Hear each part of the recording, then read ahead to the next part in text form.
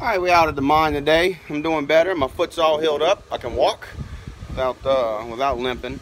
So I'll give you a brief update on what we got going on. Uh, it's Thursday, March 15th. Uh, we had a couple of snafus. We started pulling in the electrical and uh, had some issues there. I'll go over a video on that a little bit better. Uh, I'll show you that here in a minute. We uh, had some issues, had some breakers shipped in. I uh, just posted the previous video on that. Um, upgraded iPhone, had some issues with that, so we ain't been really making uh, videos for the past couple of days. Um, I want to say excuse me on one of the videos that's going to be posted here. It was shot with the iPad, and uh, Monique wasn't quite accustomed of holding the iPad, so it's a little bit jittery. But uh, we'll go ahead and get on into the explanation of what we've done, and uh, I'll show you some of the pictures and video clips from the past couple of days.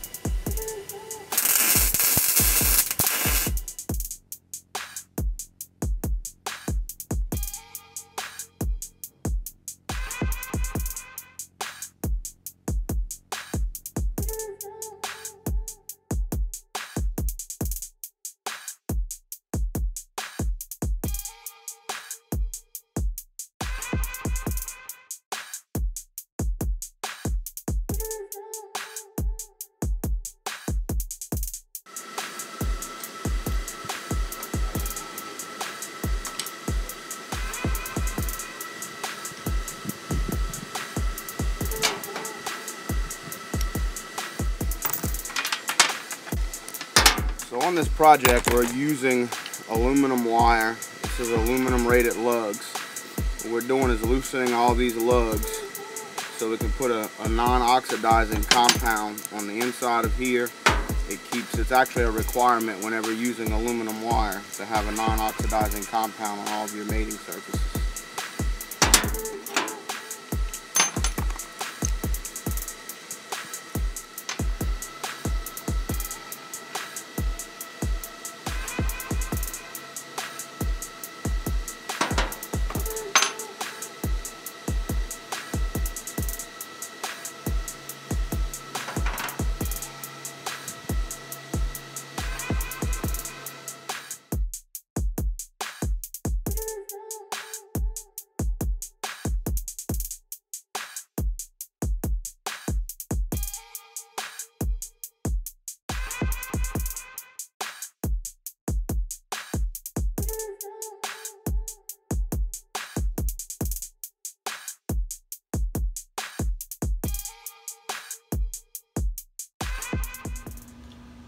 So this is the panels that are associated with the uh, service entrance on the outside.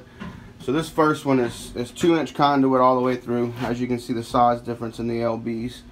Once we got into this LB, to turn and pull those wires up right there, the first wire was somewhat hard. The second wire we uh, actually put the butt of a pipe wrench in there so it had a smooth guide going all the way up into the LB. Had the second wire in pretty good. The third wire was an absolute beast to get in there. Um, I mean, that third wire just, it took us about three hours with me, Logan, and Birkin to get these wires up into this panel. The next day, we spent all day in New Orleans. We ended up getting five of the three inch LBs and uh, Birkin did some diligent searching and we found enough three to two inch reducing elements at a Lowe's just happened to have in stock. When we went to go do this service right here, it took me and Birkin about an hour by ourselves.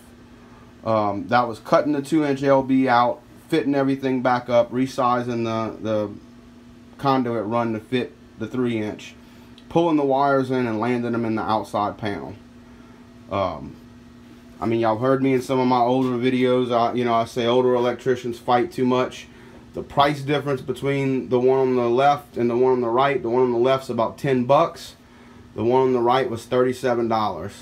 So an additional $37 spent on this job saved us two hours of, of maybe two and a half hours of just painstaking hard labor. I felt like I got run over by a train when we did the one on the left by the time we left that night.